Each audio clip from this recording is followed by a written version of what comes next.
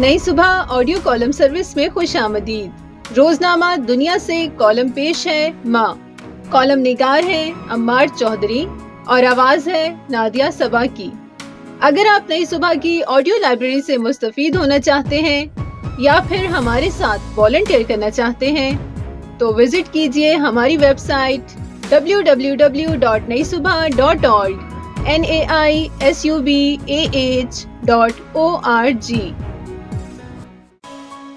ज़िंदगी उस वक्त तक बहुत खुशगवार और पुरकशिश महसूस होती है, जब तक आपके वालिदैन और आपके करीब तरीन अहल खाना आपके साथ मौजूद हों।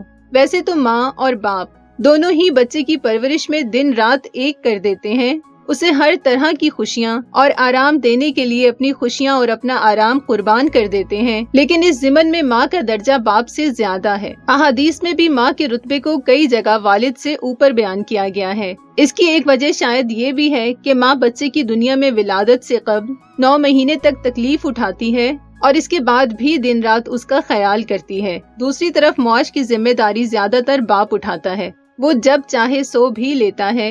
दफ्तरी काम के दबाव का कहकर जिम्मेदारियों से ओहदा बरा भी हो जाता है। हफ्तावार छुट्टी में भी दोस्तों के साथ आउटिंग कर लेता है, लेकिन माँ ऐसा नहीं कर सकती।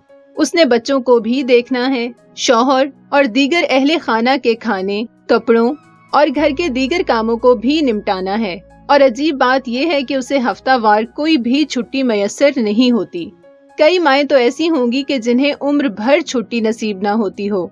हर साल मई के दूसरे इतवार को माओ का आलमी दिन मनाया जाता है। इस रोज कोई मुसलमान हो, ईसाई या यहूदी, हर किसी को अपनी माँ ज़रूर याद आती है। जिनकी माए हयात हैं, शायद उन्हें इस दिन की अहमियत का एहसास ना हो सके, क्योंकि उनके पास ये खजाना उनकी आँखों के सामने मौजूद होता है। बच्चों के लिए माए शायद अलादीन का चराग होती हैं, क्योंकि बचपन से ही वो जब चाहते हैं, जो खाना चाहते हैं माँ से कह देते हैं और माँ बना देती है। वो ये नहीं देखती कि उसके सर में दर्द है, टांगों में कमज़ोरी है या बुखार की कैफियत है। शायद ही कोई माँ ऐसी हो जो बच्चे को ये कहती हो कि मेरे सर में दर्द है, आज खाना नहीं मिल सकता।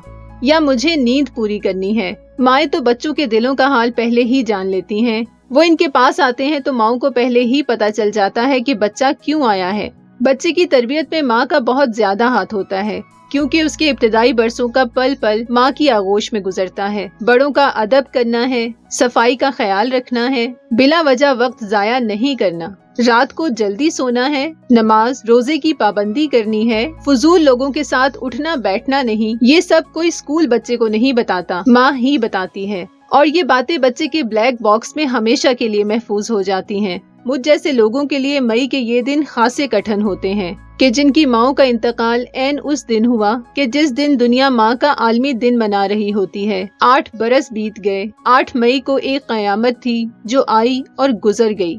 लेकिन उसके असरात आज तक दिलो दिमाग पर नक्श हैं। ये आठ बरस यही सोचते गुजर गए, कि वाकई माँ चली गई है या ये कोई ख्वाब है, जो खत्म हो जाएगा। और घर के आँगन में, किसी सोफे पर, किसी कुर्सी पर, माँ उसी तरह कुरान करीम पढ़ रही होगी, जैसे बचपन से उसे देखते आए हैं ये ख्वाब मगर बहुत ज़्यादा तवील हो गया है, और दिल इस पर यकीन करने को भी तैयार नहीं हर किसी ने दुनिया से जाना है, ये तो बचपन से सुनते आए हैं, और कुरान के अहकाम भी यही हैं। लेकिन माए वाकई छोड़ जाती हैं। ये यकीन करते करते ज़िंदगी बीत जाती है हती कि ऐसा वक्त आता है कि इंसान खुद लबे गोर पहुँच जाता है ये दुनिया का वाहिद दुख है, जिसके लिए ना अल्फाज मिलते हैं, ना जज्बात। बस इंसान गुमसुम होकर यही सोचता है कि जब माँ ने भी इस दुनिया से चले जाना है तो इस दुनिया से दिल लगाने का फ़ायदा।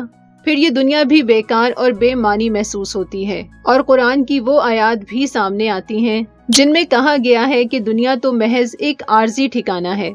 असल ज़िंदगी तो आखिरत के बाद शुरू होनी है। माए जब पास होती हैं, तब न किसी चीज़ की फ़िक्र होती है, न कोई दबाव इतना महसूस होता है। अगर कोई फ़िक्र या परेशानी होती भी है तो इंसान यही सोचता है, घर में माँ है, जाकर उसे सब बता दूँगा, और यूँ गम हल्का हो जाएगा। माँ ना हो तो कई बातें और कई गम ऐसे हैं, जो इंसान इस तरह किसी से भी शेयर नहीं कर सकता। माँ के वो दिलासे, वो प्यार, वो थपकियाँ, वो दुआएँ, कहीं से नहीं मिल सकती।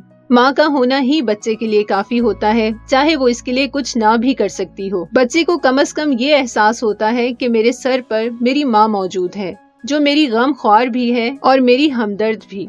बहुत से लोग हैं जो माओ की खिदमत करना चाहते हैं, लेकिन दयारे गैर में होने की वजह से नहीं कर पाते। बहुत से हैं जो उनके प्यार के लिए तरसते हैं और किसी मजबूरी की वजह से उनसे दूर हैं। जब माँ नहीं होती तब एहसास होता है, वो वक्त जो इधर उधर जाया किया, काश माँ के साथ बिताया होता। जिन दोस्तों और जिस आउटिंग के लिए हम माँ को नजरअंदाज करते हैं, वो आपको चंद माँ या चंद बरस बाद याद भी नहीं रहते। लेकिन जब माए दुनिया से पर्दा फरमा लेती हैं तो कोई पल ऐसा नहीं होता, जब माँ याद ना आती हो। इसलिए जिनकी माए हयात हैं, वो उन्हें जितना वक्त दे सकते हैं, दें। उनकी सेहत और आराम का भरपूर और हर मुमकिन ख्याल करें। हफ्तावार आउटिंग में कभी माँ को भी गाड़ी में बिठाएँ। और किसी अच्छे रेस्टोरेंट किसी पार्क में जाएँ। उन्हें भी अच्छे कपड़े, खुशबू, मोबाइल फ़ोन गिफ्ट करें। उनका बिस्तर साफ़ रखें। रोज़ाना चादर बदलें। उनके जूते इस तरह रखें कि पलंग से उतरते वक्त उन्हें पाँव की सीध में पड़े मिले और उन्हें तलाश ना करने पड़े। बाथरूम में साबुन, तौलिया, टिश्यू और सफ़ाई का ख्याल रखें।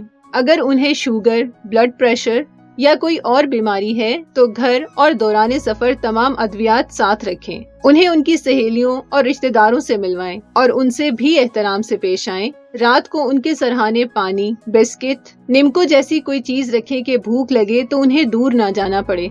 माँ के साथ कभी ऐसा रवैया ना रखें, जिससे तंग दिली और कंजूसी ज़ाहिर होती हो। हो सके तो जब मुमकिन हो उनसे अपनी गलतियों की माफ़ी मांगते रहें। अपने कमरे में रिमोट बेल लगाएँ कि आधी रात को उन्हें ज़रूरत हो तो वो बटन दबाकर आपको बुला सकें। अल्लाह मौका और इस्तात दे तो उनके साथ हज और उम्र करें।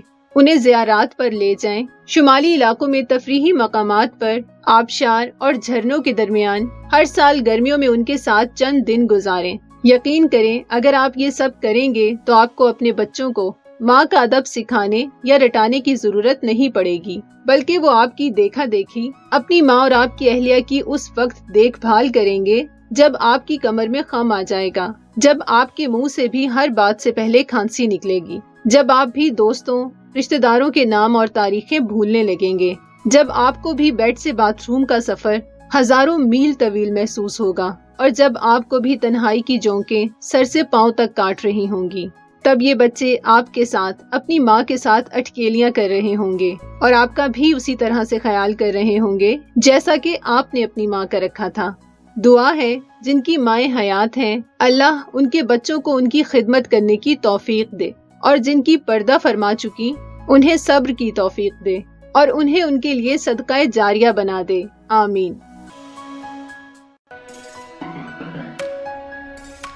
ये मालूमती मवाद नई सुबह की जानब से पेश किया गया। अपनी आरा के इजहार के लिए कमेंट कीजिए या डिस्क्रिप्शन में दिए गए रबते के ज़राए इस्तेमाल कीजिए।